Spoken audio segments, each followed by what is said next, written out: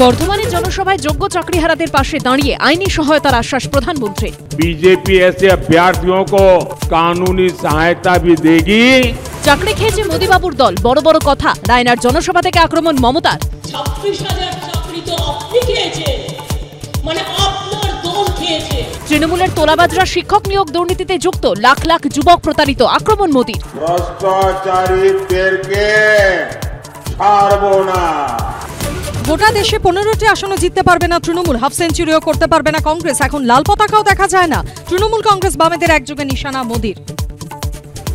সাধারণ সম্পাদকের পরে বা তৃণমূলের তারকা প্রচারকের তালিকা থেকেও বাদ কুনাল পাশে ব্রাত্য শান্তনু। অপদার্থ দলবিরোধী শূন্য পদে আনা হোক আইপ্যাকের প্রতীক জৈনকে নিজেই পোস্ট করে খোঁচা কুনালের বর্ধমানের জনসভায় যোগ্য চাকরিহারাদের আইনি সহায়তার আশ্বাস মোদীর। লিগাল সেল তৈরি করে চাকরিহারাদের পাশে দাঁড়াবে বিজেপি, ঘোষণা প্রধানমন্ত্রীর। ঘণ্টাখানেক সঙ্গে সুমন রাত আটটা।